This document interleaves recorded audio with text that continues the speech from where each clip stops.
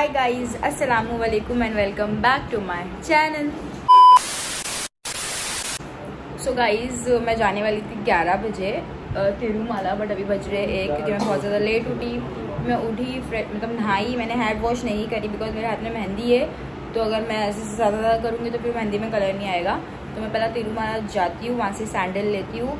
फिर उसके बाद मैं पार्लर में जाके हेड वॉश करवा लूँगी और मम्मी डैडी यहाँ पे बैठे हैं आज सब लेट उठे सब में लोग के भरोसे पे ठीक है लोग मुझे सुबह उठाएँगे बट इन लोगों ने भी नहीं उठाया। फिर मैं खुद बारह बजे उठी नहाई फिर अभी एक बज गए अभी अदनान आएँगे फिर मैं निकलती हूँ तिरुमाला के लिए। आई होप मुझे सैंडल वहाँ पे मिल जाए बिकॉज़ एनी हाउ मुझे अभी कैसे भी करेगा लेना है बिकॉज़ मुझे अदनान के घर पे भी जाना है। तो गाइस हम लोग तिरुमाला जाने के लिए निकल चुके हैं और बहुत ज़्यादा दूर मतलब बहुत ज़्यादा मतलब हम लोग ऑटो से जाएँगे बट ऑटो से जाते तो बहुत ज़्यादा ट्रैफ़िक मिलता है इसलिए हम लोग बाइक से ही जा रहे हैं तिरुमाला से अदनान के कुर्ते का कपड़ा भी ले लेंगे जो उनको ईद ईद में पहनना है हम लोग जो उनको ईदी देंगे। तो देखती हूँ अभी उनको आज यहाँ पे पसंद आता है। सो गाइस हम लोगों ने बीच रास्ते में हमारा प्लान चेंज कर दिए। हम लोग आ गए हैं इन ऑर्बिट मॉल यहाँ से मैं इंच फाइव में देखती हूँ मिलती है क्या सैंडल तो यहीं से ले लूँगी। बिकॉज़ बहुत ज़्यादा धूप है तो इसलिए हम लोग तिरुमाला नहीं जा रहे हैं। सो so गाइस हम लोग आए हैं कहाँ पे? मोची में ना। और मुझे सैंडल मिल चुकी है यहाँ पे, वो आप लोग ये ब्लॉग में आगे देखिएगा। मतलब शाम में जब ये लोग लेकर आएँगे, तब आप लोग को मैं दिखाऊँगी कि मैंने कौन सी वाली ली हूँ। अभी मैं डेली वेयर के लिए देख रही हूँ एक सैंडल मतलब सैंडल नहीं फ्लैट्स देख रही हूँ। यहाँ पे। हम लोग इंच पाए में नहीं गए बिकॉज़ मोची आ गया रास्ते में और मतलब वैसे हम लोग जा रहे थे तो मोची दिख गया। तो हम लोग ने वहाँ पे देखे तो मुझे पसंद आ गई तो फिर मैंने वो ले ली। हम लोग घर पर आ गए हैं अभी अदनान उनके घर पे जा रहे हैं सामान रखने के लिए। फिर वो यहाँ पे सामान रख के मुझे लेकर जाएगी पार्लर, मुझे हेयर वॉश करवाना है। फिर उसके बाद करेंगे हम लोग इफ्तार की प्रिपरेशन थोड़ा बहुत सामान तो हम लोग ने बाहर से ही मंगाए है। और मतलब दो तीन और जो बनाना है वो मम्मी और मैं बनाएँगे घर पर। चलिए।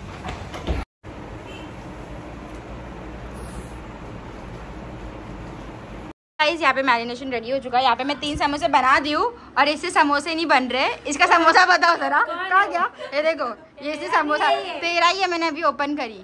और यहाँ पे अदनान भी कब से कोशिश कर रहे हैं बट इनसे भी समोसा नहीं बन रहा है। अमान तू बता तेरा समोसा जरा। और यहाँ पे सैफ और सुफियान भी आ चुके हैं। हाँ। इतना बड़ा नहीं। उठ जाओ सब उठ जाओ मैं बनाती हूँ उठ जाओ। शेफ और यहाँ पे मैं समोसे फ्राई कर रही हूँ और मम्मी बना रहे हैं दाल के भजिए ना। दाल के भजिए और ये क्या है मम्मा? दही वड़े। दही वड़े के लिए मम्मी ने मतलब फ्राई कर सो गाइस यहाँ पे सब फ्राई हो चुका है। मैंने समोसा भी फ्राई कर ली अरे तेरा रोजा है। फ्रिज क्यों खोल रहा है? मालूम है। हाँ तो फ्रिज क्यों खोला? अफ्तारी के टाइम पे मैं खाऊँगा। हाँ तो तभी निकालेंगे ना अभी। इसको रोज़ा लग चुका है ये शख्स को।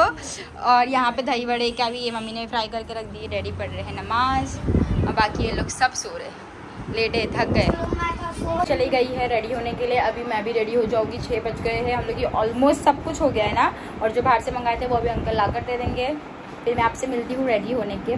ड्रेस पहन ली अभी मैं रेडी होगी मम्मी लोग यहाँ पे फ्रूट्स कट कर रहे हैं। उसके अंदर देख लेते हैं यहाँ पे मम्मी फ्रूट्स कट कर रहे हैं कशफ और इसको बहुत ज़्यादा बेचारे को रोज़ा लग गया है। क्यों रखा तूने नहीं रखना चाहिए था ना आज। हाँ? ज़बरदस्ती रखने बोले, देखो। हाँ? बात नहीं कर सकता गाइस इसको रोज़ा बहुत ज़्यादा लग चुका है।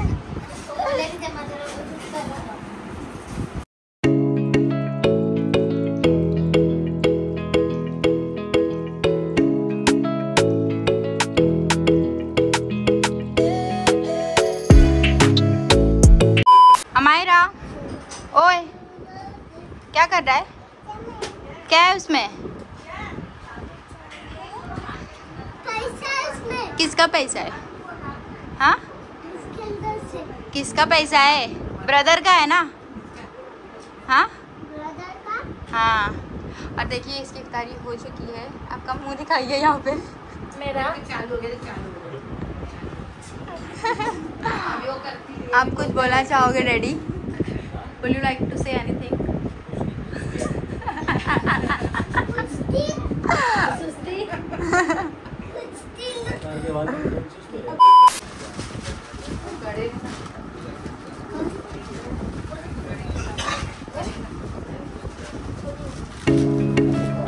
दादी तुम ये खड़ी कर रहे क्या हाँ थैली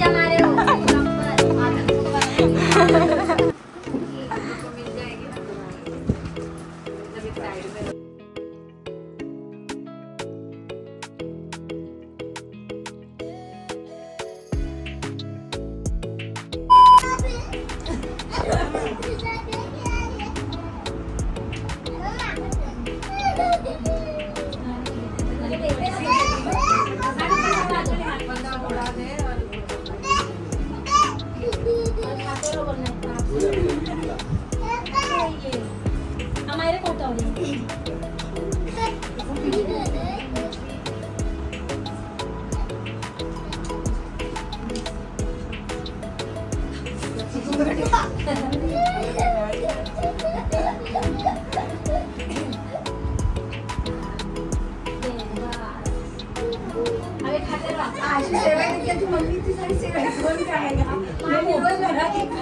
हमारे कोटा नहीं। बस